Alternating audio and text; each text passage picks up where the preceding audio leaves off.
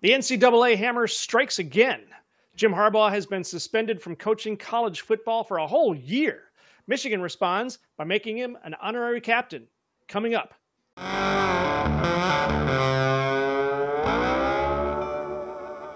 Welcome to the Point Minute Show on Michigan football at the voice of college football, where we average one outstanding point for every minute of video.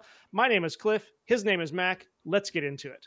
Today, we've got a hot topic that's been making waves in the college football world. We've been diving into this recent news lately about Jim Harbaugh, where the NCAA has handed him a four year show cause with a one year suspension. But in a surprising twist, he's been named the honorary captain for Michigan's season opener against Fresno State. Mac, first off, what are your initial thoughts on Jim Harbaugh's suspension by the NCAA? Let's cover that first.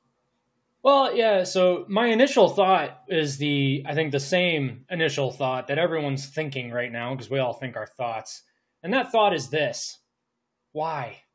Just just why? Why do this right now? They gave him a a years long ban and a four year show cause, so he effectively can't coach in college football for four years, which doesn't matter. I don't know if the NCAA has noticed this but Harbaugh's not actually at Michigan anymore. He's he's at some team, they're a professional team, I think, somewhere out in Los Angeles. I believe that's in California. I'm really not sure. No one cares about this. Literally no one cares. Jim Harbaugh might might actually care. He Jim Harbaugh might actually care about this because it's his name that's being dragged through the mud here. But frankly, Michigan doesn't care about this. The NFL obviously doesn't care about this. They're not going to do anything. And frankly, I don't think Michigan fans should care about this either. Those are my initial thoughts. I don't care. Well, okay, now like you're saying, nobody cares, and it doesn't seem to be a big deal because I don't think Harbaugh is coming back to college football for, to coach. So, what what's the point of the suspension? Why even do it? I think if we're really honest with ourselves, no one really knows because it's like you said, Harbaugh's never coming back to college football. And I think all we can really do at this point is speculate. I mean, we can speculate that maybe it was because Jim Harbaugh pantsed the NCAA with his advocacy of revenue sharing and, and NIL for athletes. Um, maybe it's because uh, you know the NCAA has been losing a lot of court cases lately, and they kind of want to give that perception of power where there is none. Uh, maybe it's because they felt it was their moral duty to punish Jim Harbaugh for buying a recruit the forbidden cheeseburger. We all know in Genesis when Satan was tempting Eve, it wasn't an apple, it was a cheeseburger. It was a cheeseburger. With extra, with That's biblical. Bacon. With extra bacon. That's biblical. That's just that's just good theology right there. It's not. It's not at all. No. Um, I, I thought Harbaugh was already punished for that anyway. I thought that was the point of the three game suspension back in the 2023 season. So I, I thought we were all set, but apparently not. According to the NCAA, the real the real meat of the violation here was about him lying to the investigators about having provided impermissible benefits to to the uh, to a recruit.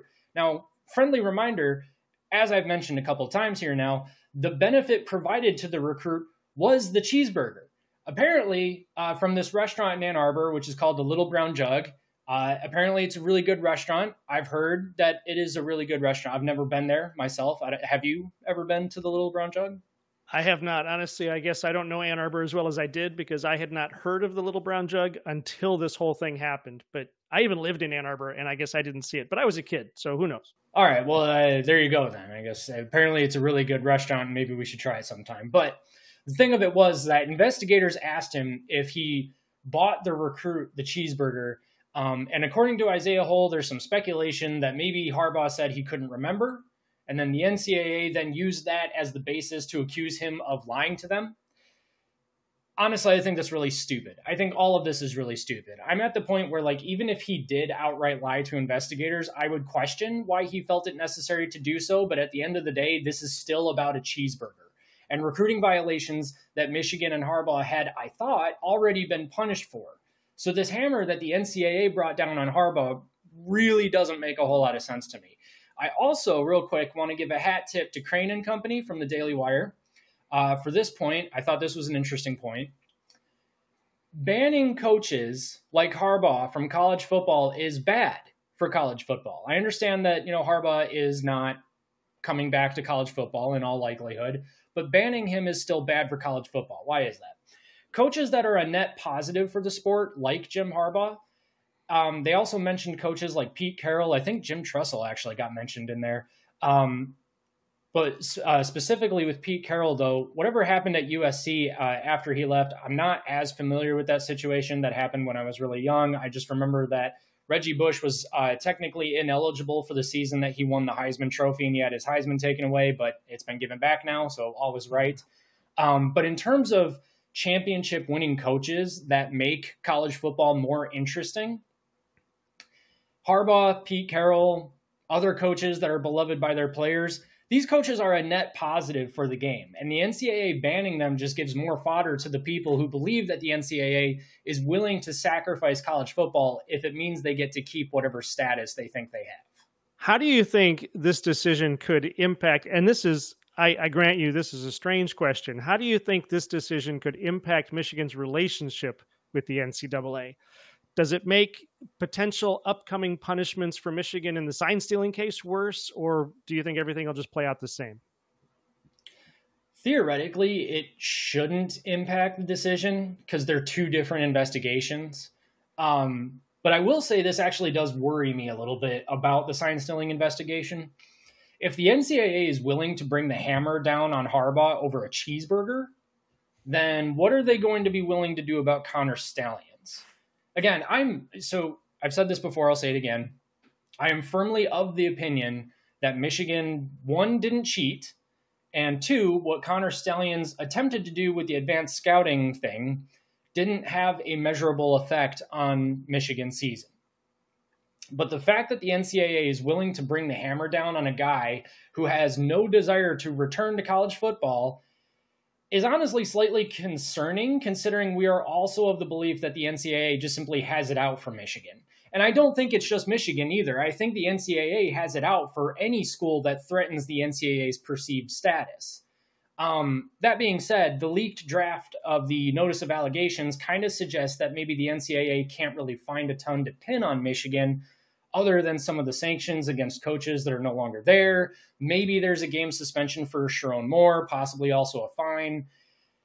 I just wouldn't want to underestimate the NCAA's desire to bring the hammer down for no other reason than they're vindictive and they don't like looking like idiots, which is kind of how they look right now, is very much like idiots. Now, Michigan could obviously take the NCAA to court, and from what I understand, they would likely win pretty convincingly.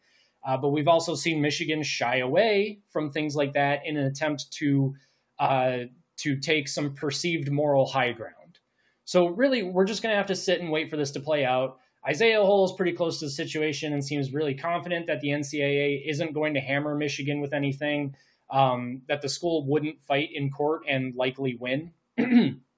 Even Pete Thamel, Paul Finebaum, and other reporters are saying that a hammer just isn't likely. But either way, I think we still just have to wait and see given the uh, severity of the suspension on Harbaugh, given that he's probably not coming back to college football and it really doesn't make a lot of sense, why do you think Michigan then turned around and decided to name him honorary captain of the opening game with uh, Fresno State? Well, conventional logic says that it's because he won the school's first national championship since 97 but my genuine hope is that Warde Manuel is just attempting to give the NCAA a giant pulsating middle finger. Since we've got that game on our minds, let me ask you about the game itself. How do you think Harbaugh's presence as an honorary captain will affect the team's performance? I don't know. I mean, Fresno State, you know, they're they're not a, exactly a pushover. Like, you know, they could they could uh, they could make it a game. It could be interesting for a little while. I still think Michigan's a far uh, the far superior team, and and you know maybe having Harbaugh on the sidelines will be kind of like the the one last hurrah with the old coach kind of a thing. But it's also the dawn of a new era. It's the dawn of the Sherrone Moore era. So you know maybe that'll mean that the team's already got that extra spark to to prove that last year wasn't a fluke or um, something like that. I don't know. It'll be interesting to see. I don't know if Harbaugh's presence on the on the sideline is really going to give this team any more motivation than they probably already have at this point. Well, yeah, no matter what, it's going to be a spectacle, and we all know Harbaugh loves spectacles. What do you think about what we think? Leave a comment and let us know. That's going to do it for us. If you want more great analysis on college football, check out all the shows right here on the Voice of College Football and especially Michigan football at the Voice of College Football. You can also catch Mac and I live on the Big Ten Team Rivalry Show Monday nights at 8 right here on YouTube. Mac, take us out. This is Michigan football at the voice of college football.